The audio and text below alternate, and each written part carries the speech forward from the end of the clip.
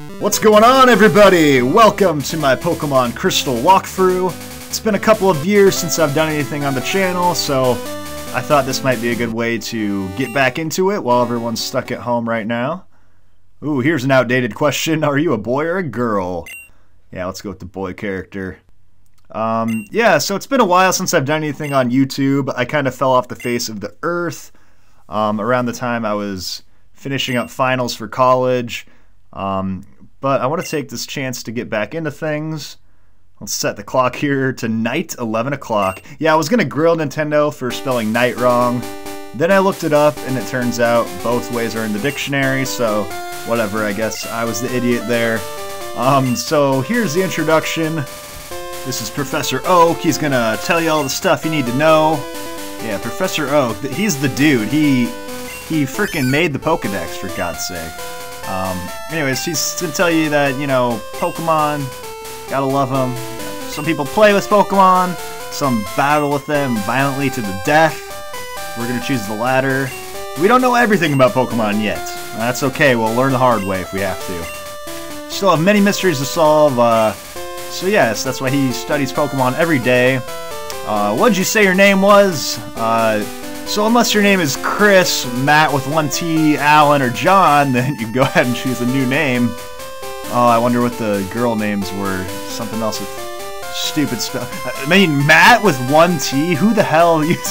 I've never seen that in my life. That must just be like the the sons of the four dudes that made the game. Um, but yeah, we're gonna go with Leroy. That's my name. Don't wear it out. You'll face fun times and tough challenges. World dreams and adventures with Pokemon awaits. Let's go! And then you get that classic scene where you shrink down to gameplay size. And then you're in your room, so let's just start by getting out of here. No potions in the PC or anything this time, so uh, yeah, your mother's gonna stop you on the way down. She says that Elm was looking for us.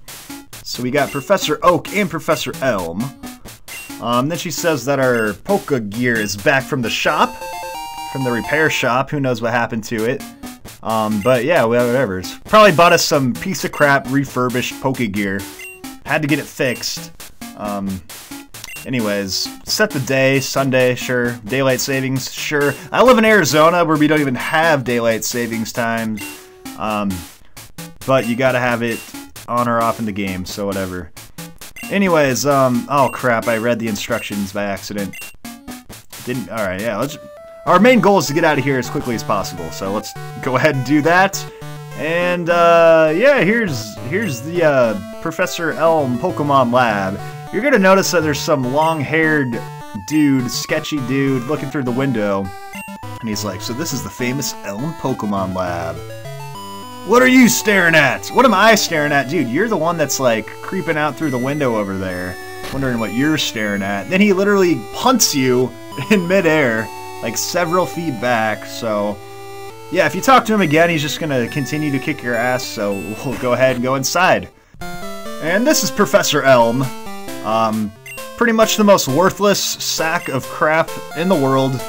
He's gonna say that he's conducting some new research, and he wants to lean on us for some help. Um, because you see, uh, he's writing a paper that he wants to present at a conference. Uh, the only problem is he doesn't know what the hell he's talking about. He doesn't understand anything, so he figured, yeah, uh, why not take that kid across the street and have him go do all the work for me, so I can take the credit later. So yeah, that's basically what the deal is here to start the game. Um, but the good news is we get to take one of his Pokemon, so whatever, we'll help you uh, cheat on your paper there, Professor Elm, but yeah, as long as I can take one of these Pokemon, I don't really care. Uh, so let's let's go ahead and swoop one of these. Um, oh wait, hold on, hold on, he's got an email. Uh, uh-huh, okay. See, look how far we've came since the original games, where we had to hand deliver a freaking letter. Now this time we just got emails going back and forth. But he got an email from a dude named Mr. Pokemon. It's the most ridiculous name of all time. But Mr. Pokemon, he's some lunatic who keeps finding all these discoveries, ranting and raving about them. But today we got an email from him saying that this time it's real. Which I love that line because it just implies that there's been all these other times where it hasn't been real. Where it's just like, really, Mr. Pokemon? How many times are you going to keep emailing us at 11 o'clock at night and asking us to come out here to your house? Um, but yeah, basically, he comes up with this great idea where he's like, oh, how about this, Leroy? How about you go to Mr. Pokemon's house for us? Because these two just want to continue to not do anything and just stay in this lab here. It's like, what do these guys think there's some deadly virus out there or something? Um, anyways, let's go ahead and choose our starter Pokemon. So, we're going to have three options here. Let's start on the end with the Grass type, Chikorita. The least popular starter Pokemon ever from any game. People literally hate this thing. But I'm here to tell you that it's not as bad as people say. Um, of course, it's not as good as the other two starters. However, it is the best grass-type Pokemon in the game, and that is worth something in its own right. So if you plan on getting a grass-type, just know that your options are going to be pretty awful. So um, if you want the best one, grab yourself a Chikorita early. Totodile is the water-type Pokemon. Um, most people use a water type at some point in the game because of moves like Surf, so um, not a bad idea to get one to start with. Of course, there are really good water types aside from Totodile later in the game. Um, so it's it comes down to your personal preference. Totodile gets fully evolved into Feraligatr quite early at level 30 compared to the usual 36, so that's a pretty big advantage for him. And I'm actually going to pick the fire type Cyndaquil.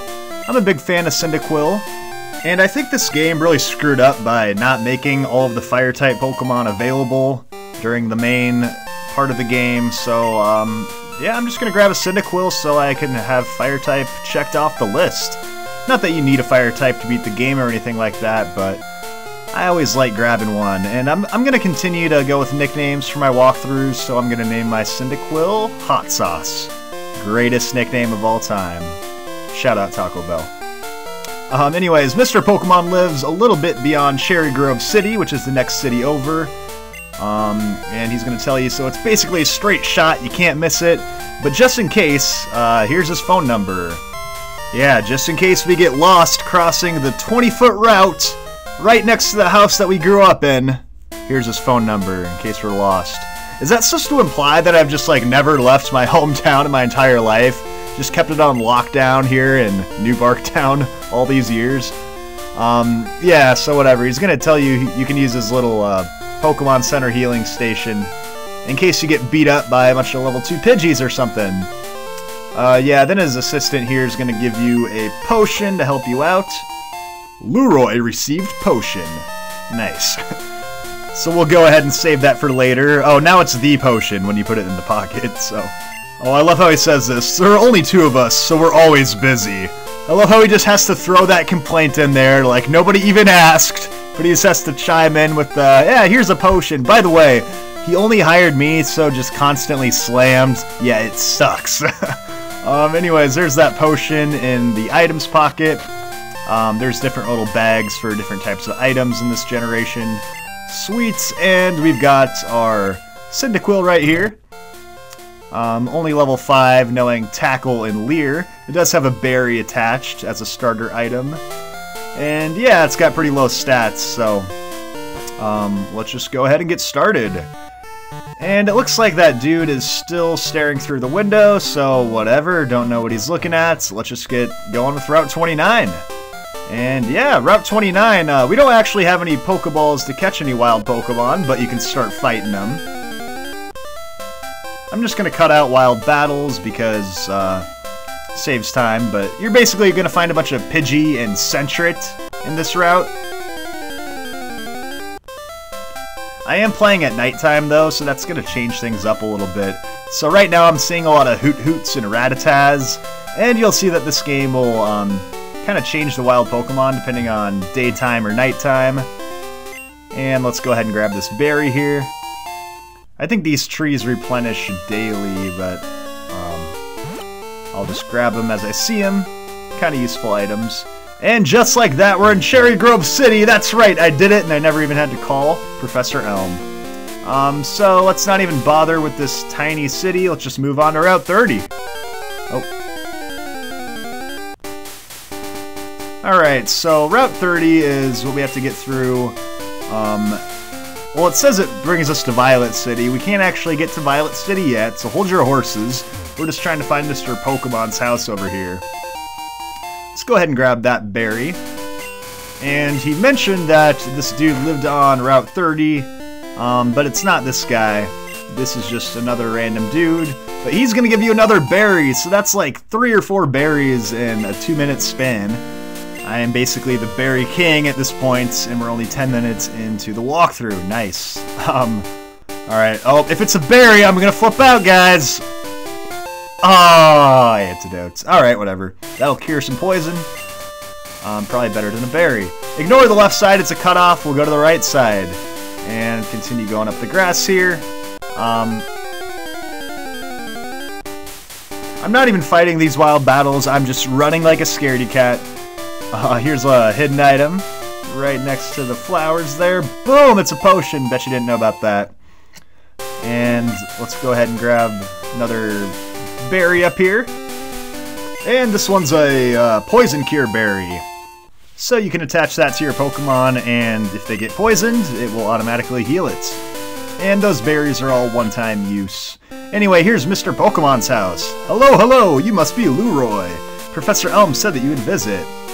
Yeah, so this is Professor Pokemon, or Mr. Pokemon, uh, and he's gonna go ahead and give you the Mystery Egg.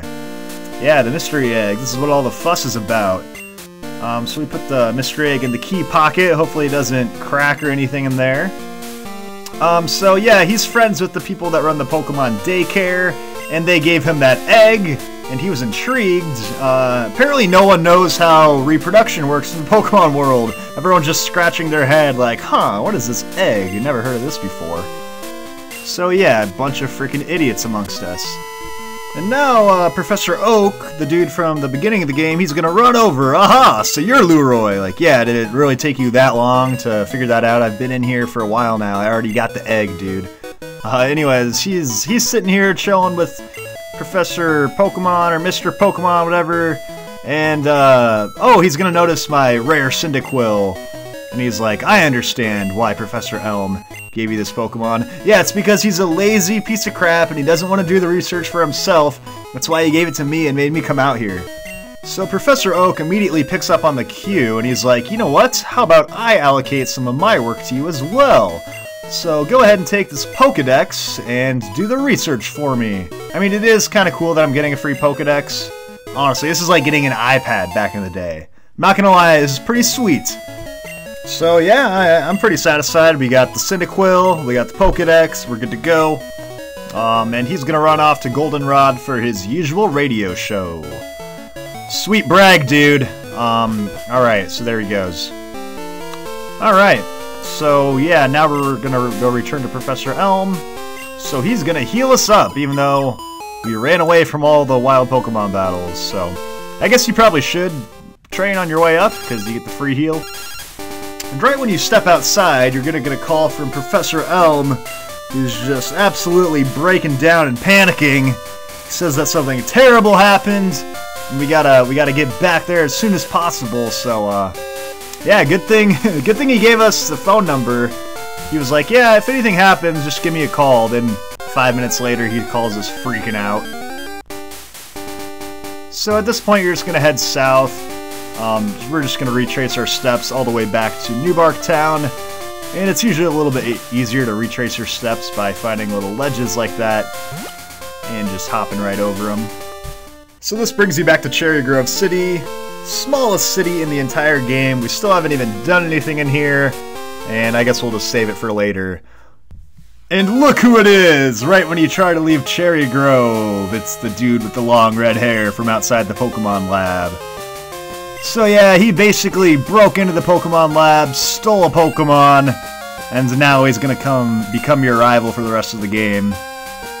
So yeah, first real actual fight that's required in the game, and it's gonna be against question mark, question mark, question mark. So yeah, you basically get to name him whatever you want later, and he's gonna have the Pokemon with the typing advantage over you, which doesn't really matter at this point in the game because it's only going to know tackle or scratch or something like that. So if you did any leveling up, you should have a pretty easy time. I didn't, so I'll go with a Leer. Uh, to try to soften it up a little bit. Totodile has pretty good defense. I think it's one of its best stats, so I don't want to spend 50 tackles to knock him out, so sometimes that can be beneficial for you. Um, and yeah, as long as you have a berry attached to your Pokemon, you should be good to go. And of course, we got that potion as well from the dude in the lab, so yeah, we have plenty of ways to get healed up here. Totodile is probably actually the toughest one to take on in this fight, uh, because I mentioned it has high attack, high defense. Those are kind of the main um, stats at play in a level 5 fight. Um, oh, and there's that berry kicking in, so yeah, you can see it'll come in right at the right in the nick of time and recover some health for you. But it looks like we didn't even need it this time around, so uh, yeah, we'll get 70 experience points. That's going to get Cyndaquil up a level, some stat boosts, and we learn Smokescreen, which is a non-attacking move, so not the most exciting thing in the world in terms of our move sets. Still pretty early in the game, so. Alrighty, so he's to tell you his name, question mark, question mark, question mark, and that he's to be the world's greatest Pokemon trainer. So yeah, then he punches you in the gut and runs off. Yeah, that guy is violent. Too bad he sucks at fighting Pokemon, though. Um, so let's get through Route 29, backtrack it all the way to New Bark Town. Feel free to fight any Pokemon along the way. I'm just gonna uh, avoid the grass entirely by going over these ledges. Shortcut City, baby. Alright, and just like that, we are back in New Bark Town, so let's head into the lab. And when you get in here, there's to be a police officer talking to him. Because there's apparently a Pokemon stolen from here. So he was getting some information from Professor Elm. And apparently it was a young male with long red hair. What? You mean to tell me you battled a trainer like that? Did you happen to get his name? Uh, what was the name? What was the name? We threw out the name! I'm just kidding. Shout out SpongeBob. Uh, his name was Corona. That's right. I'm gonna name you Corona because this rival just absolutely sucks. So it's the most fitting name in the world for him.